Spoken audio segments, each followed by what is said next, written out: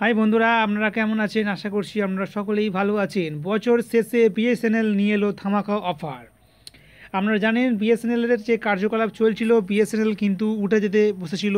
সরকার থেকে সিদ্ধান্ত নেওয়া হয়েছিল যে বিএসএনএলকে তুলে দেওয়া হবে। এবং প্রায় সে সমস্ত কার্যকলাপ প্রায় এগিয়ে চলছিল। অবশেষে কিন্তু বিএসএনএলকে যে ফিরে এসেছে বিএসএনএল যে ব্যাক করে এসেছে এবং তা খুবই চমকদারভাবে ফিরে এসেছে। বিএসএনএল নিয়ে এসেছে এমন কিছু প্ল্যান যা জিওকেও কিন্তু টেক্কা দিয়ে দিল।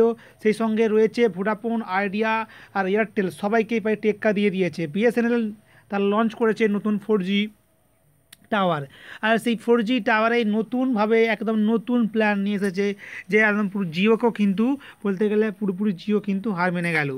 বিএসএনএল নতুন লঞ্চ করেছে একশো ন টাকার প্যাক একশো ন টাকার এই প্যাকটিতে আপনারা যে যে সুবিধাগুলো পাচ্ছেন, আপনারা পেয়ে যাচ্ছেন প্রতিদিন আনলিমিটেড কলিংয়ের সুবিধা।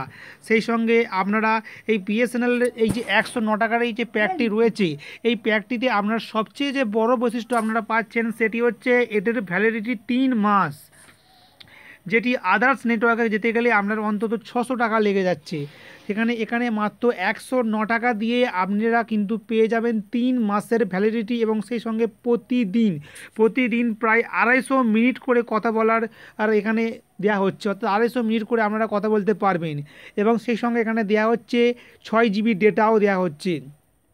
তো বন্ধুরা, কিন্তু এক ফাটাফাটি প্ল্যান নিয়ে এসেছে এবং এই সমস্ত কিছু কিন্তু আপনারা পাবেন ফোর জি অর্থাৎ এইখানে যে নেটটি দেওয়া হচ্ছে, ছয় জিবি যে নেটটি দেওয়া হচ্ছে, তা কিন্তু বিএসএনএলের যে নতুন ফোর সেই নতুন ফোর জিতে সিমে কিন্তু আপনারা পাচ্ছেন।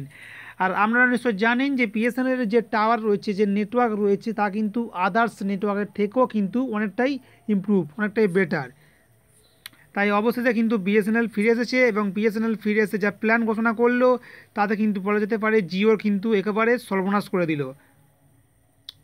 তো আশা করছি বন্ধুরা ভিডিওটি আপনাদের ভালো লেগেছে। যদি ভিডিওটি অবশ্যই ভালো লেগে থাকে লাইক করুন শেয়ার করুন। আর কোনো কিছু জানানো তাহলে কমেন্ট বক্সে কমেন্ট করতে ভুলবেন না।